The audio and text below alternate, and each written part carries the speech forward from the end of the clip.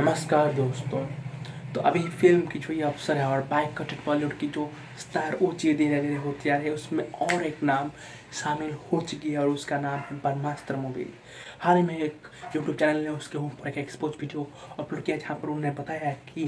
कि ब्रह्मास्त्र मूवी की जो पोस्टर है, वो फ्री मार्वल से कॉपीड है, यानी कि मार्वल की जो पोस्टर है द हॉल्क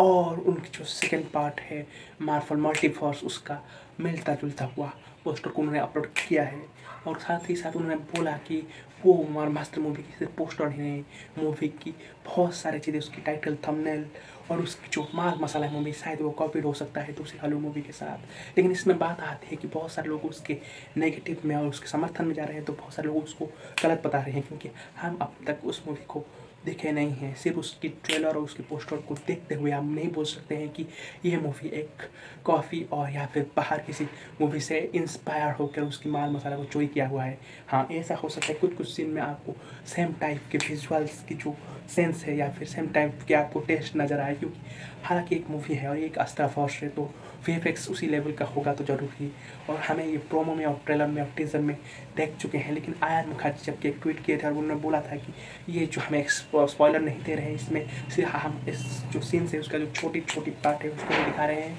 और जब आप खुद उस फ़िल्म को अच्छी तरीके से देखोगे तो आपको पता चल जाएगा कि मूवी कितनी ज़्यादा अच्छी है और उसमें आपको कोई स्पॉलर नहीं मिला, ये वो फैंस को बोले।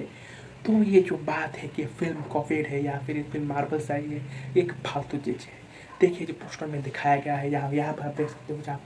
रणबीर कपूर सामने है और दूसरे में पीछे उनकी त्रिशूल लेकर धारी एक पर्सन खड़े हो, खड़े हुए हैं। उनको हम सोच सकते हैं कि वो शिव जी हैं क्योंकि वो वहाँ पर लिखा है परमास्टर पार्ट वन इंक्लूडिंग शिव।